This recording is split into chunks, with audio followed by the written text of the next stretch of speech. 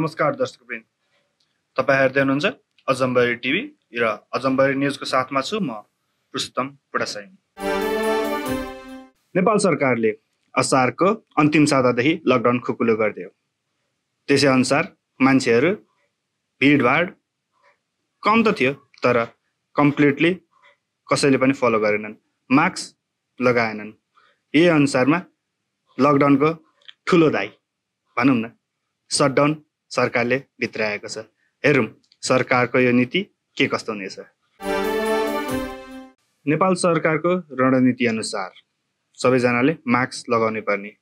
तर के सबै जनताहरूले त्यो मानेका छन् त? साउजी के छ नि हजुरको हालखबर हजुर एकदम ठिकठाक छ हजुर।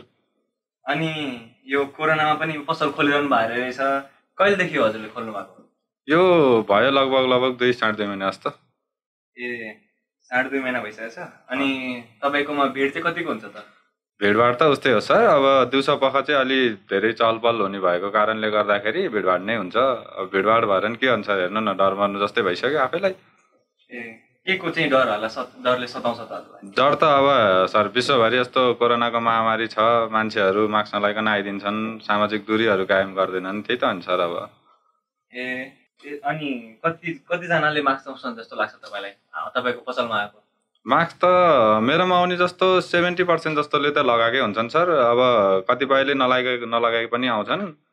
नलगाए आउनेहरूलाई म फ्रिली पनि प्रोभाइड गरिदिन्छु। कतिपय कोरोनाले अब केही पनि हुँदैन भनेर पनि हिँडिदिन्छन् त्यस्तै हो सर।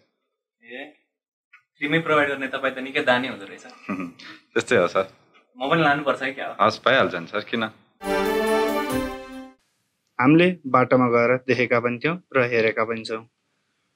म्याक्सिमममा अस्सी प्रतिशतले लाएका होलान् तर ती बिस प्रतिशत जो छन् उनीहरूले लाएका छैनन्। किन? उनीहरूलाई केही अप्ठ्यारो छ? कि केही भएर? कि केही समस्या छ? केही समस्या भए नलाउने हो। कि आफ्नो सुरक्षा र अरूको सुरक्षालाई ध्यान नदिकन उ गर्ने के यसमा अरू कसैको चासो छैन होला? त्यसमाथि पनि अहिले त बजारमा नयाँ नयाँ विभिन्न खालका कस्टमाइजेबल मास्कहरू पनि देखिन थालेका छन्। हेरौँ न त कस्ता आउँदो रहेछन् यी कस्टमाइजेबल मास्कहरू।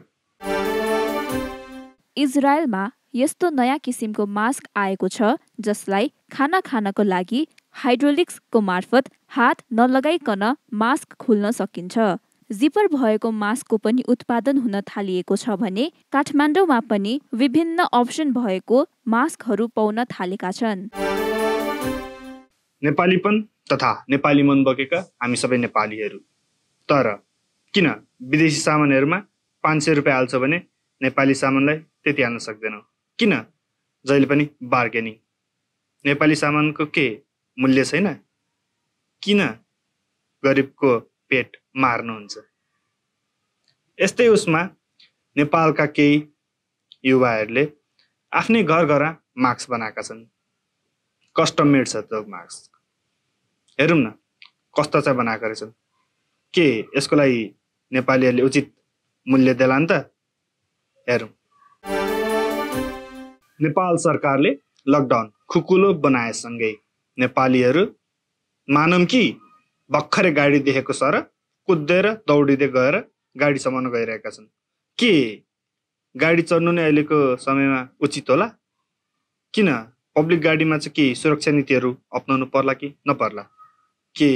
नेपाल सरकारले गरेको यो निर्णय सही छ? कि नेपाली जनताहरू मास्क नलाइकन चढ्दाखेरि पनि केही हुँदैन भन्ने सोचिसकेका छन्? कि कोरोना सकिसक्यो? सायद प्रधानमन्त्री मेड औषधि जुन चाहिँ छ बेसार र तातो पानी। के यो साँच्चै कोरोनाको औषधि हुन सक्ला त। के बेसार पानीले कोरोना जस्तो जटिल बिमारीलाई निको पार्ला? उहाँको प्रसङ्ग यस्तो खालको छ। इम्युन सिस्टमका कुरा गर्दा इम्युन सिस्टम कसरी बढ्छ भन्ने कुरा गर्दा त्यसलाई उडाएका पनि छन्। मैले सडकमा पनि देखेँ।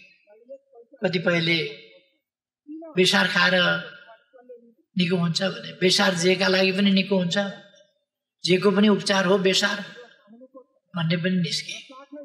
बेसार उपचार होइन मात्रै होइन कहिले कहिले बेसारले बिखको काम पनि गर्छ। तर एउटा एन्टिबायोटिक तत्त्व भएको औषधीय गुण भएको तत्त्व हो बेसार भनेको स्टडीको अनुसार एउटा रिसर्च नै भनौँ न जसमा चाहिँ मास्क लगाउने मानिसहरू अधिकतम मानिसहरूमा सत्तरी प्रतिशत जसमा चाहिँ कोरोना देखिएको छैन सत्तरी प्रतिशत मानिसहरूमा चाहिँ कोरोना देखिएन पनि र बाँकीका जुन तिस प्रतिशत तिस प्रतिशतहरू जुन छन् तिनीहरूमा चाहिँ देखिए पनि एकदम कम यानि कि थोरै एमाउन्टहरूमा देखेछ जो कि रिकभर लायकका पनि हुन्छन् कोरोनाको त्रास भइरहेको समयमा नेपाली युवाहरूले सत्याग्रह मुभमेन्ट सुचारू गरेका छन्। पहिला उनीहरूले इनफ इज इनफ नामक एउटा मुभमेन्ट सुरु गरेका थिए जसमा आरडिटी हटाएर पिसिआर टेस्ट गरौँ भनेका थिए।